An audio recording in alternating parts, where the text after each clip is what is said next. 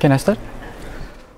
Okay. Uh, good morning, ladies and gentlemen. Morning.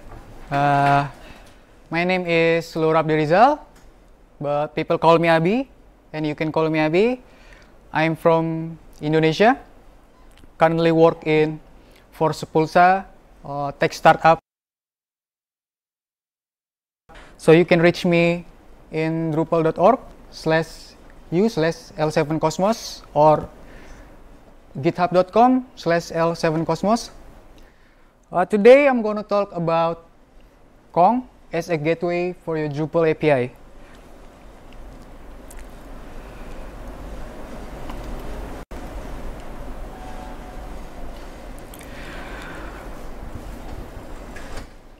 So before I talk specifically about Kong, first I will talk about uh, Drupal.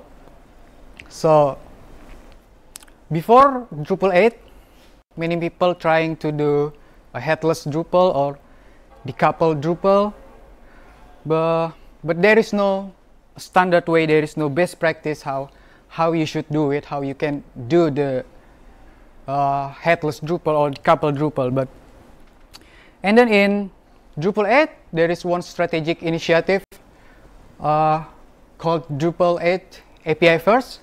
So this is in Drupal 8, you can you have uh, in the architecture level the Drupal 8 support how you can do the headless Drupal or decoupled Drupal.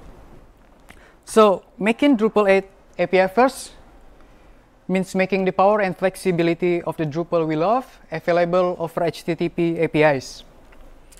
In so doing, Drupal will be able to power ambitious applications from all kinds, from behind the scenes system, written in language like Python, PHP, Java, or Go, to beautifully rendered experience using the latest front-end frameworks like React, Vue, and Ember. So if it speaks HTTP, it should work with Drupal. So that's uh, what the Drupal 8 API first initiative.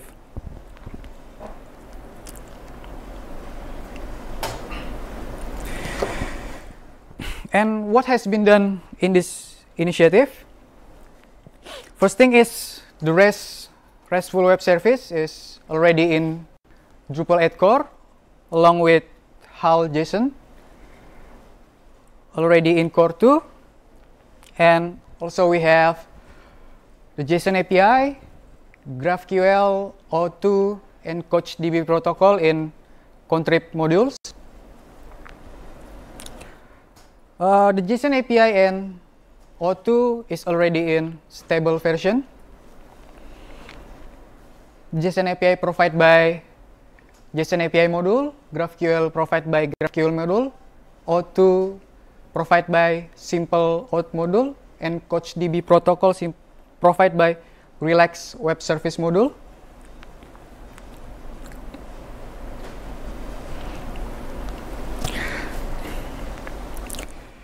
But there is still uh, problematic in this initiative. One of them is about authentication. So uh, Drupal 8 basically only support basic auth and cookie authentication out of the box. So which only works well for, for the browser but not work well for application. So only really suitable for progressive decoupled use cases.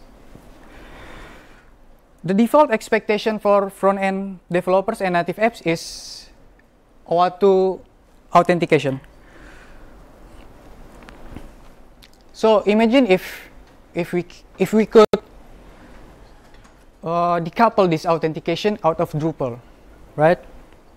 So not only it can reduce the, the workload of the Drupal, but it, it can also make the Drupal more flexible because because we can use any authentication method. So we're not limited to basic auth, cookie auth, or O2. So whichever or whatever the authentication, it should work with Drupal.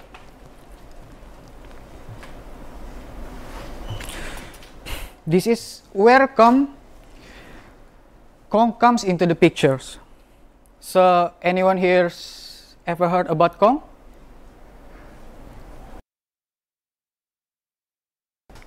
So Kong is, is an API gateway. That means it is a form of middleware between computing clients and your API-based applications. So Kong easily and consistent, consistently extend the features of your APIs.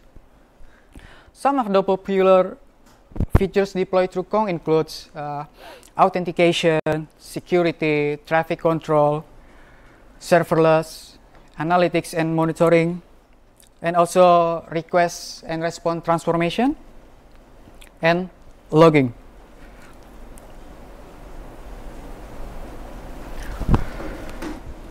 But why Kong? Uh, there are also other API gateway. There are also many other API gateway. So, but why Kong? Because first thing is Kong is extensible. Basically, you can you can create plugin just you can create modules to extend Drupal so you can extend Kong with plugin it also fast blazing, blazingly fast because Kong is built on top of Nginx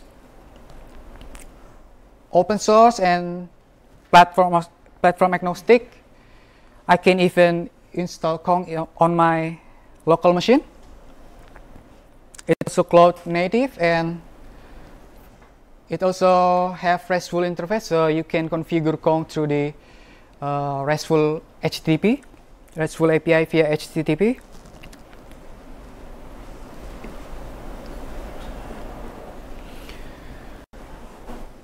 This is how Kong looks like. This is how Kong works. So Kong is basically reverse proxy.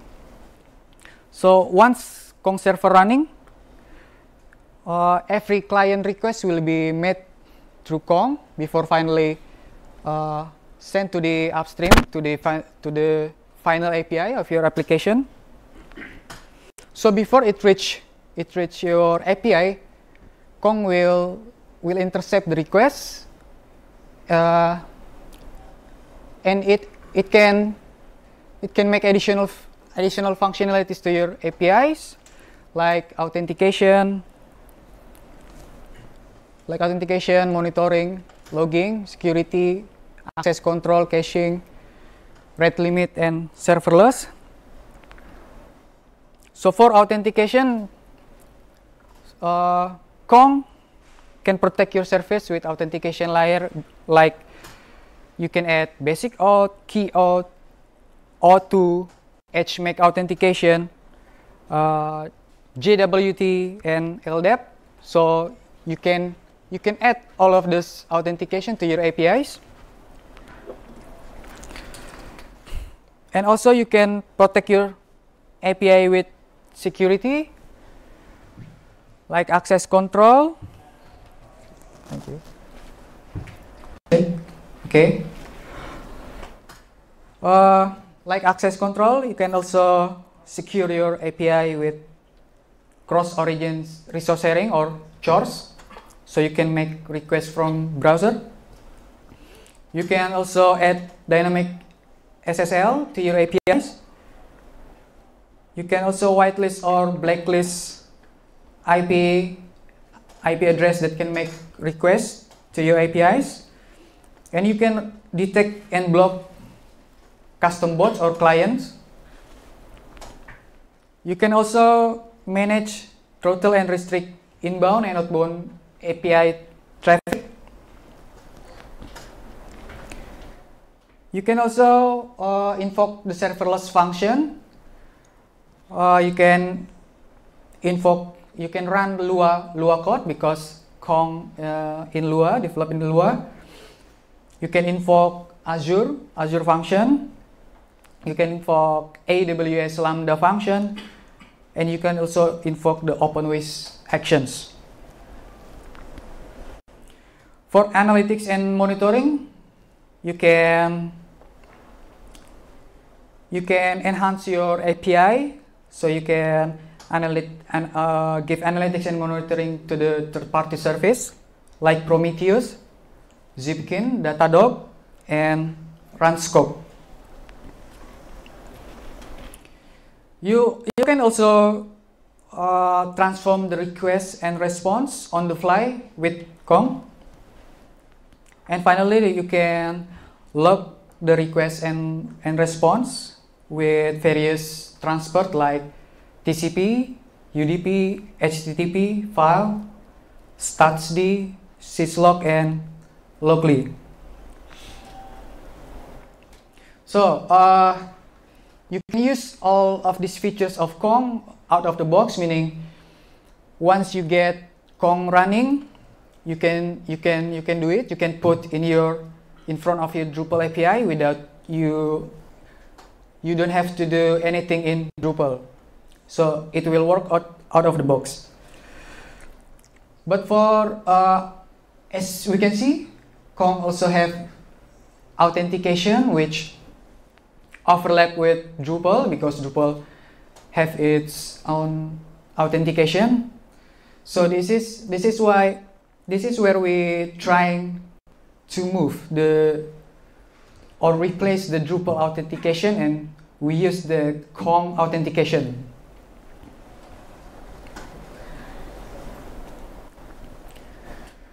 Okay, so uh, how we do that, how we move, how we replace the Drupal authentication with the Kong authentication.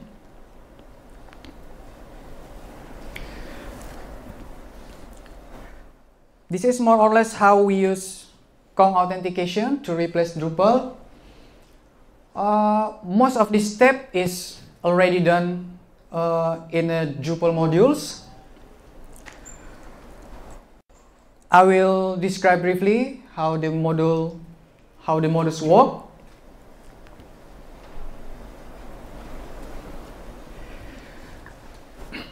So the first step is uh, we need to to sync the consumer because uh, Kong authentication work around the consumer object. So what is the consumer object? The consumer object represent a consumer or a user of a service. You can rely on Kong as the primary database or you can map the consumer list with your database to keep consistency between Kong and your existing primary data store. So the this consumer concept is similar to Simple OAuth module. So you, you can treat the consumer as a client or application which consume your APIs. So in this case, we we will we will map the consumer list in the, the second option. We will sync the consumer of the Drupal and consumer with with the consumer of Kong so the modules consumers, drupal.org slash project slash consumer. This is the module which provide the consumers enti consumers entity. So we will we will map this entity with Kong consumers. Basically is each time the consumer created, updated or deleted, we will sync to Kong using standard Drupal hooks.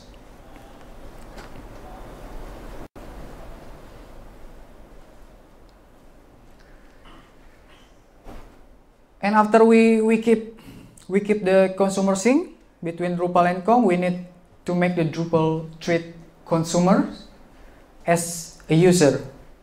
Because Drupal uh, rely heavily on current user, which is a user.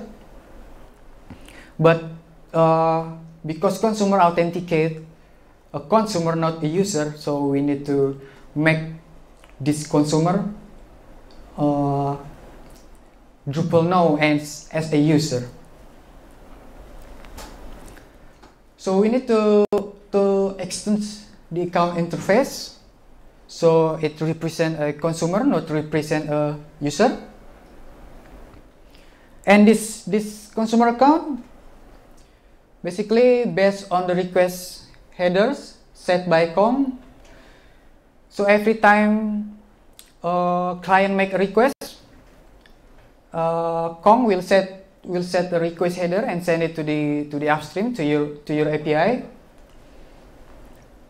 This is the, the headers that Kong will send to your API. The X consumer ID, X consumer custom ID, X consumer username, and X anonymous. So basically this consumer account will use these headers and only check this header so there will be no no process about the authentic the authentication about uh, how how the authentications. It will only check these headers.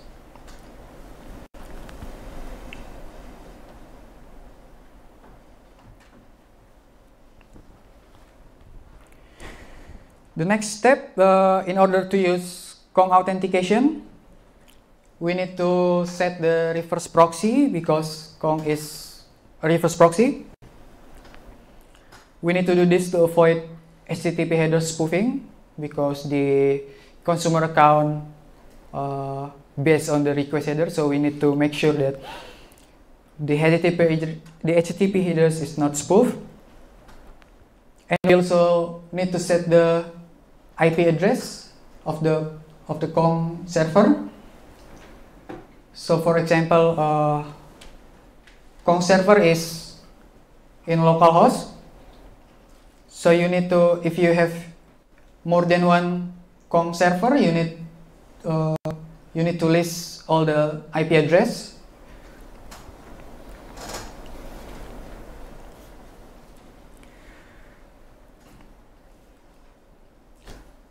And then we need to register a service for authentication provider so Drupal can collect it and Drupal can use it.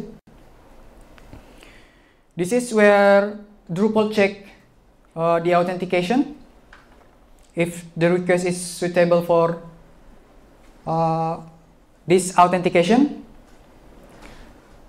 As you can see, uh, this authentication provider first check the if the request is from trusted proxy. That's why in the reviews step we need to configure the reverse proxy setting.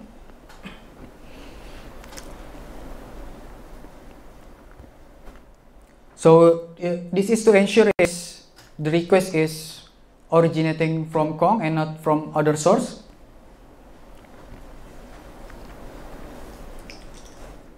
And then we only check the the headers.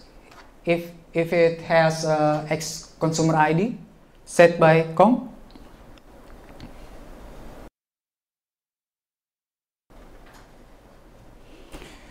And if it's if the request applies to this authentication provider, we will authenticate the, the consumer to Drupal. And this is how, how this provider authenticated. It checks the X consumer custom ID. So this is the consumer uh, entity ID of the consumer in Drupal. And we set the, we sync it to the Kong with consumer custom ID. So this this is where we know that this is consu this consumer is is the Drupal already access in Drupal then we set, then we only return the consumer account, which extend the account interface on the step before.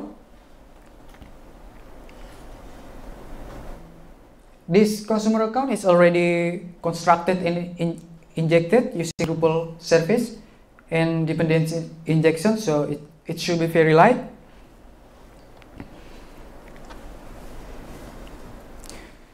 And now at this point is Drupal is authenticate, already authenticate the consumer and treat it as a user. So whenever Drupal current user call, it will return the consum consumer account object. So at this point, uh, the, the authentication from Kong already successfully authenticated to the Drupal.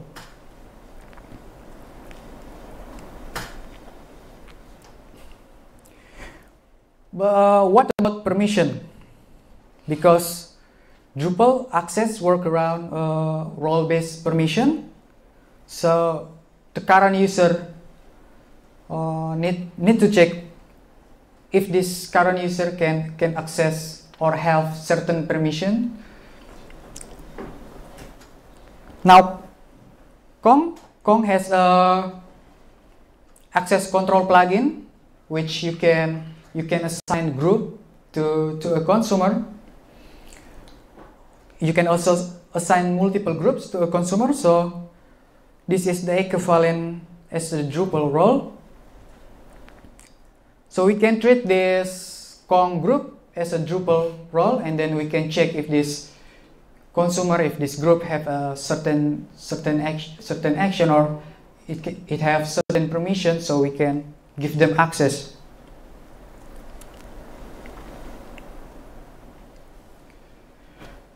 So the Kong access control plugin will set the request headers with X consumer groups.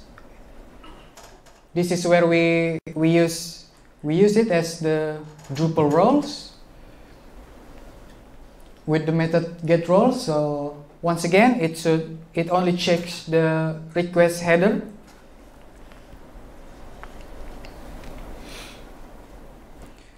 So now at this point, you have a consumer as a Drupal as a Drupal current user, and this consumer also have permission, so you can you can use it normally like like a user. But this time Drupal did not handle the authentication because the authentication uh, already been done by Kong. So let the Kong handle the authentication and Drupal just use it, use the authentication.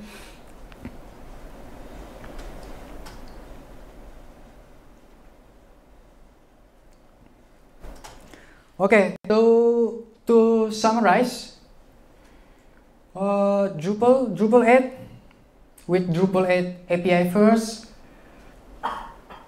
you can, it's so, it's so easy to, to do headless Drupal, to do, to do decoupled, decoupled Drupal, or use Drupal as a web service. And Kong can act as, as a gateway for your Drupal API. Kong can enhance and extend your API with additional functionalities. Kong also provide authentication plugin which you can use to replace the authentication in Drupal because both have, both have authentication so it's overlap so you can use one over another so in in this talk uh, we already talk about how to replace Drupal authentication with Kong so Kong can do that. And with with with the authentication of Kong, so we not only we can reduce the Drupal workload, but you can use any authentication method provided by Kong to your Drupal.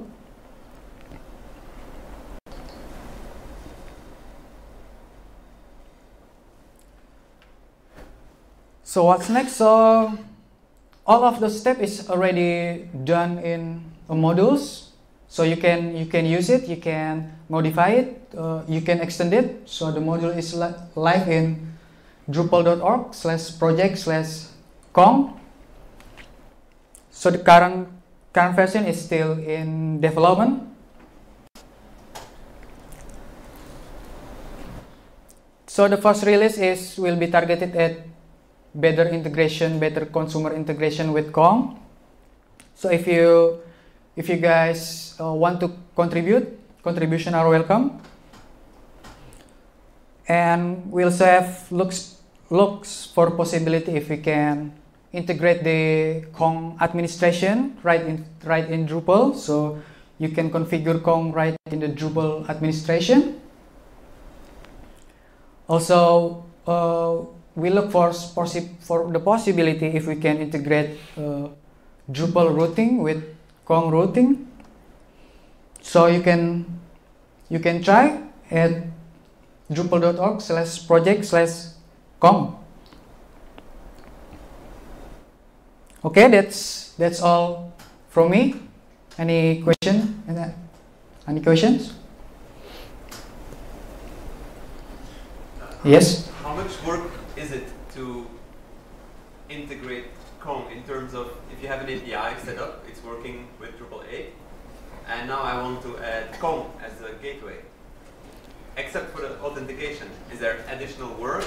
Is the API exactly the same? Does the front end need to know anything about it? Yeah, if you uh, if you don't use the authentications, so all, all the Kong features is working out of the box, so you don't have to do anything in Drupal. So you, all you need to do is is get the Kong running and you you just fine. Anything else? But Yeah. I think um, we, we are running on an existing platform on Drupal 8, and then and then the APIs were already um, created beforehand, and then if we want to like uh, uh, move on to Kong to like maybe um, do to expose ourselves to have more API uh, capabilities or whatever, uh, it's not just about um, installing the Kong as a as a add-on service, right? You have to you have to do some configurations for my existing um, APIs to talk to Kong first, right? Or it will just like talk by itself. and then- No, all you, all you need to do is you configure Kong. Uh, so you Kong can can proxy it to your API, Oh, okay. and then you your API is is wouldn't you won't have to change anything in your APIs. Then the front end will also have to change the headers and everything. No, They will still be the same. it, it will still be the same. Oh, okay. Sorry, Andy, you can hear me. Uh, how many used this on, and how useful was the like performance improvement? So uh, right now I use it in the in one project I lead. So it's it's very useful. So because we we have a project that for a third party. So so uh, it's a service used by uh, client or consumer. So this is uh, where Kong uh, useful because uh, the consumer so it is not a user. So so this consumer uh, you don't you want you won't have to change anything in Drupal. So we we only configure it in Kong so when when any consumer change or what uh, it, you won't have to do anything in Drupal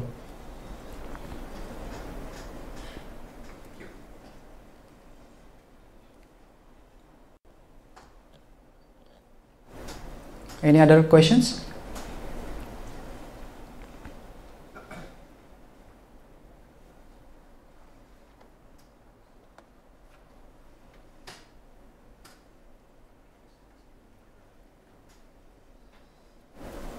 No? Okay. Uh, that's all from me. Thank you. Good morning.